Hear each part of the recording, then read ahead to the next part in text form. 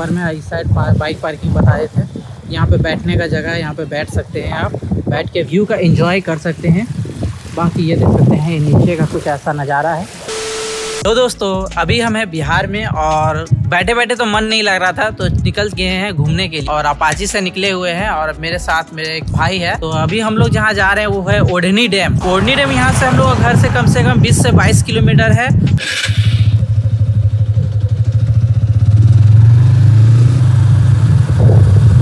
देख सकते हैं रास्ते कितने अच्छे हैं।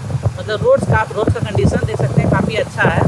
थोड़ा आगे आके एक स्टॉप लिए हैं, क्योंकि हम लोग का रास्ता थोड़ा समझ में नहीं आ रहा। मैप में थोड़ा चेक कर लेते हैं किधर से जाना है, उसके बाद आगे की तरफ़ बढ़ते हैं। बाकी अभी पतझड़ का मौसम है स्प्रिंग सीज़न चल रहा है तो देख सकते हैं काफ़ी पत्ता झड़ रहा है। पेड़ से काफ़ी ज़्यादा पत्ता झड़ रहा है, देख सकते हैं।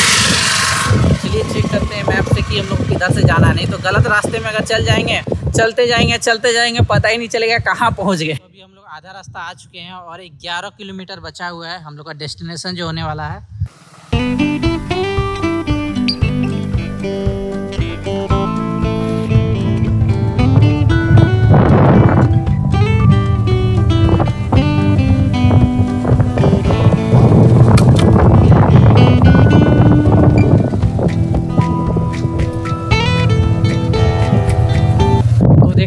फाइनली पहुँच चुके हैं ओढ़नी डैम। तो हम लोग देख सकते हैं, इस रास्ते से आए थे, इधर से। और ये रह गया पार्किंग ये रहा बाइक पार्किंग इस साइड है बाइक पार्किंग और कार पार्किंग आगे की तरफ़। तो बाइक पार्किंग का हम लोग का बीस रुपया करके लिया गया चार्ज दिया, किया गया है। और कार अगर रहेगा आपको तो पचास रुपया किया जाएगा। तो ये है कुछ देख सकते हैं, नज़ारा, क्या ही गजब का है। चलिए चलते हैं अब नीचे की तरफ़। देख सकते हैं। पहले इतना अच्छा नहीं बनाया गया था अभी काफ़ी ज़्यादा बन रहा देख सकते अभी भी काम चल ही रहा है। तो ये सारा चीज़ देख सकते हैं बनाया जा रहा है काफ़ी अच्छे से। ये सब देख सकते हैं बैठने का भी जगह है। यहाँ पे आप शाम के समय में बैठ सकते हैं। बोटिंग भी यहाँ पे देख सकते हैं नीचे की तरफ़ बोटिंग है। वो सभी पता करेंगे पहले चलिए बहुत ज़्यादा धूप है और काफ़ी दूर से आए तो थोड़ा आराम करते हैं।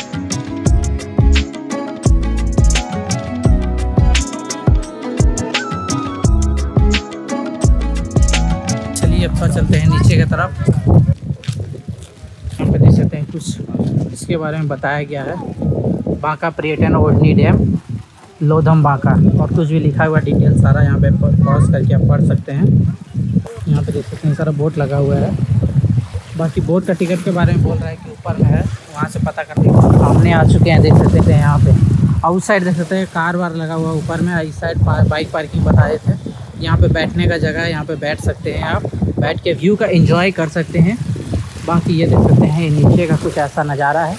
और यहाँ पे काफ़ी अच्छा लगा आके, क्योंकि हमारे घर से कम से कम 20 किलोमीटर ही दूरी पर था, ज़्यादा दूर था नहीं। और हम पहले, इससे पहले कभी आए हुए नहीं थे यहाँ पे तो आके काफ़ी अच्छा लगा।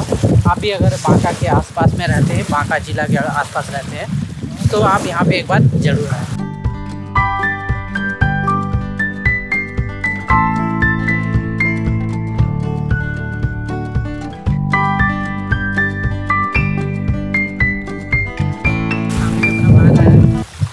जूता ना भीग जाए काफ़ी सावधानी रखना पड़ेगा, लेकिन अगर जूता भीग गया तो प्रॉब्लम हो जाएगा। उधर एक टापू है, उधर एक टापू है। देख सकते बीच बीच में टापू है। उधर ले जाया जाता है कि नहीं जाता है, पता नहीं, शायद उधर नहीं ले जाने जाया जाता होगा।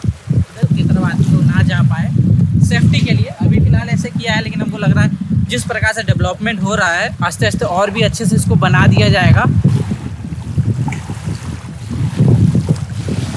घूमने का तो जगह काफ़ी सारा है। जैसे ये तो घूमने के लिए है डैम में यहाँ पे बोटिंग कर सकते हैं, आप काफ़ी इंजॉय कर सकते हैं। साथ साथ देख सकते हैं, पीछे की तरफ़ देख सकते हैं काफ़ी सारा पहाड़ वहाड़ भी है। तो अगर आप लोग चाहें तो इधर भी घूम सकते हैं। पहाड़ का भी अलग ही मज़ा है। तो चलिए चलते हैं, थोड़ा पहाड़ की तरफ़, पहाड़ का मज़ा लेते हैं और पहाड़ भी थोड़ा घूम लेते हैं। अब आए हैं यहाँ पे तो फुल इंजॉय करो, आधा इंजॉय क्यों ही करना, बोलिए।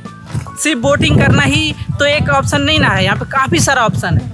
ऊपर की तरफ़ देख सकते हैं, एक व्यू पॉइंट दिख रहा है हमको, ये व्यू पॉइंट है। चलिए उस व्यू पॉइंट पे चलते हैं। हेलमेट लगा ले रहा है सेफ्टी के लिए हेलमेट रखिए। धूप ना लगे। हाँ एक चीज़ ठीक है। अगर इसको पहन लेगा तो धूप तो नहीं लगेगा। लेकिन इस चढ़ने में काफ़ी मुश्किल है। जैसे काफ़ी खड़ा चढ़ाई होने वाला है ये। बड़े कष्ट के साथ पहाड़। पे चढ़ रहे हैं। एक व्यू पॉइंट का नज़ारा देखने के लिए। क्या लगता है हम लोग पर चढ़ पाएँगे? एकदम चढ़ पाएँगे हार नहीं मानना है तो चढ़ जाएँगे। यहाँ पे बॉर्डर दिख रहा है। चलिए बॉर्डर क्रॉस करते हैं।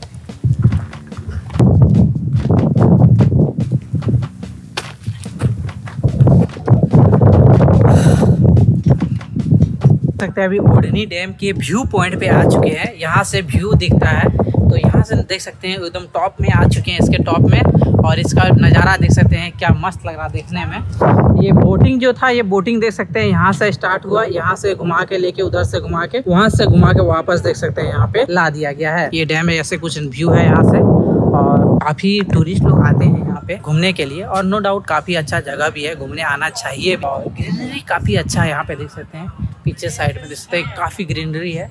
और इस साइड देख सकते हैं पहाड़ है। और यहाँ पे जहाँ हम लोग हैं, ये भी तो एक पहाड़ ही है देख सकते हैं। पहाड़ की के ऊपर में है और पहाड़ के ऊपर में यहाँ देख सकते हैं एक मंदिर भी है, ऊपर में देख सकते हैं। लेकिन ये मंदिर पे जाने का काफ़ी लंबा रास्ता होने वाला देख सकते हैं। इधर से भी दिख रहा है ऊपर जाने का, लेकिन लग नहीं रहा है, पॉसिबल काफ़ी दूर है। तो ऐसा कुछ था यहाँ पे, काफ़ी मज़ा आया। चलिए, उसके ऊपर डैम जो बना हुआ है, उसके ऊपर भी जाएँगे। इस साइड फ़िलहाल अभी कच्चा रास्ता है, दिख रहा है। इस साइड देख सकते हैं, कच्चा रास्ता है।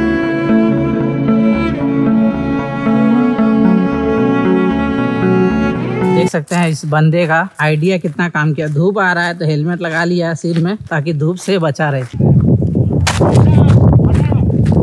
तो वहाँ पे शूटिंग चल रहा है देख सकते हैं भोजपुरी गाने का डैम के पास। तो चलिए हम लोग भी चलते हैं देखते हैं शूटिंग कैसे कैसे कर रहा है वो लोग। और यहाँ पे देखिए तो दौड़ जा रहे हैं हम लोग। क्योंकि तो क्योंकि काफ़ी ढलान है ना काफ़ी ज़्यादा यहाँ पे। इन लोग हालत खराब देख सकते हैं शूटिंग चल रहा है। इतने कड़कती धूप में देख सकते हैं काफ़ी दूर यूपी से लोग आया है शूटिंग के लिए यहाँ पे।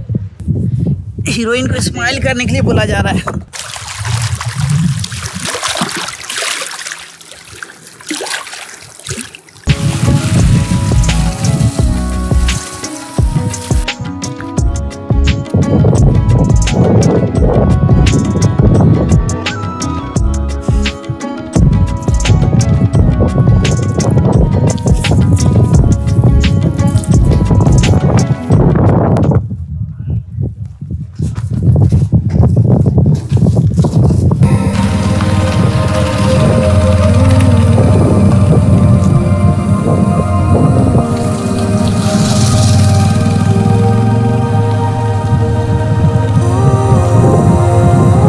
बज चुका है। हम लोग यहाँ पे दो बजे लगभग आए थे। दो से अढ़ाई घंटा हम लोग यहाँ पे खूब एंजॉय किए। चलिए चलते हैं अब घर के तरफ़।